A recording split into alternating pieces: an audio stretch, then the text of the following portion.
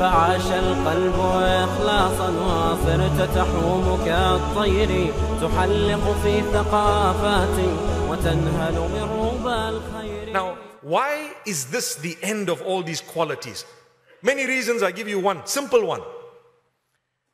We heard about how we should be walking, how we should be talking, the ibadah, how we should be abstaining from sin, how we should not bear false witness, and so many other things, how we should spend and so on. Now we are making dua that we can pass on the baton and the, the candle can now be passed on to the next generation. So, oh Allah, myself being a worshipper of the most merciful, bestow me with all these qualities and ensure that my offspring, those to come after me, are blessed. Subhanallah. Blessed in what way?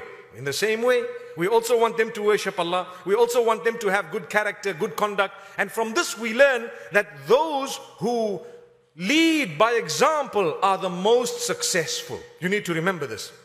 When you're a father and you're a role model in the home, then your children will follow that example by the will of Allah. You are trying, you made a dua to Allah. You may have sometimes a little bit of turbulence because of the outside environment. But trust me, if the relationship is powerful and good, then the chances of success are far greater by the help of Allah subhanahu wa ta'ala.